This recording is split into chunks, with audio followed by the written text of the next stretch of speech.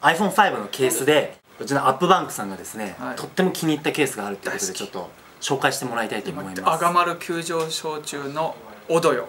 オドヨというケースメーカーのケースです。何が一番好きなんですかこのケースまず 箱。箱。かっこいいもんだって。箱。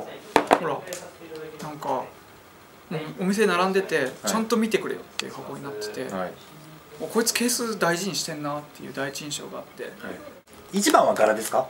柄で最終的には決める。き結局オドヨが好きなんですよ、うん。オドヨが好きな理由でこのつけた時にこうパスこうはまるっていうのは女性でも使えるなっていうのとかあ僕結構ケース変えるじゃないですかはいそういう時にあいいなっていうのと普通に使っててこのこの柔らかさがなかなかないちょっと触ってみてこの柔らかさが好きなんですよオドヨ特有のああ確かにこれ素材はポリカーボネートですねそあ確かに。う薄めでやってるんでラバーコーティングなんだけど、でラバーコーティングのラバーもこういうふうにさここがさあのなんていうのテクスチャーの部分が全部ボボコボコしてるんですよちょっとだけね。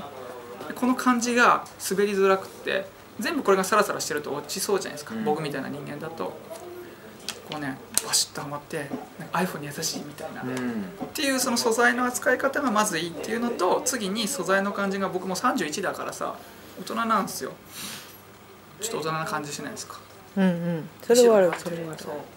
これねすごいいいなと思ったのはやっぱりこの手触り感ですね。いいね。このねよくサラサラするケースってよく聞くじゃないですか、うん。でもこれねサラサラするケースの中でもまたちょっと違ってあのね立体的になってるんですよ結構ねガタガタガタガタガタガタってなんかね砂利道的な感じ。まあそれがタイルだからねモザイクっていうシリーズだからねタイル状にになってるデザインでなんてそれがいいの？それがねすごいいいなと思いました。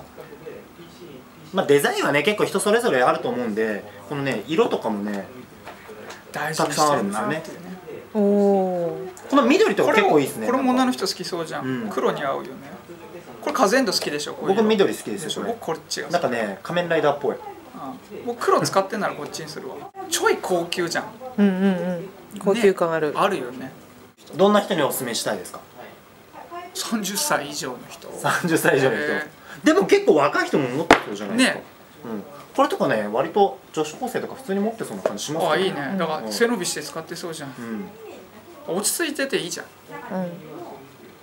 で格好つつけすぎてもないしさ。うん。うんでなんかええんちゃん。なるほどね。これ横まであ横まで結構このね立体的な持ちやすい。のが来てますね。持ってみようん。持ちやすい持ちやうすい。落としそうな感じもしない。あとね汗っかきな人とかにはいいかもしれなはいいですね、僕ですね。うん。かだから手汗かく人は完全にいいこれは、うん。